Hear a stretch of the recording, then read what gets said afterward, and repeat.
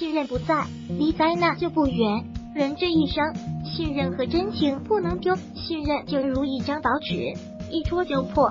现实生活中，信任是一张通行证，没了信任，大家都会默默的疏远。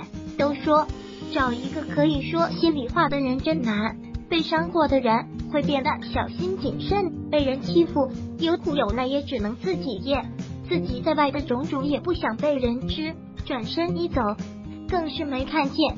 被欺骗或是出卖，都是一件让人窒息的事。感觉找个说真心话的人真难。人心怎么会这么多变复杂？为什么自己真心相托的情，竟然会在背后捅自己一刀？感觉内心的平静都被打破了。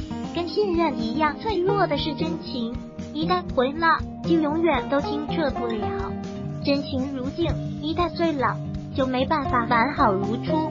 人心只有一颗，伤了就难以补全，放弃爱，所以哭着说自己会原谅。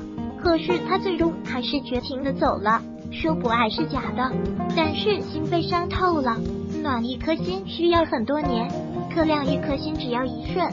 被伤透了的心，永远都有深深的疤痕，一想起还是会隐隐作痛。对你好的人，真情待你的人，一辈子也没几个。不要往人家的心口上捅了一刀，真情只有一回，失去了就永远的失去了。再深的情也会淡薄，再浓的意也会无痕。人生游子，纵使漂泊，那种经历也是数千个擦肩而过。如果喜欢本视频，请分享并订阅本频道。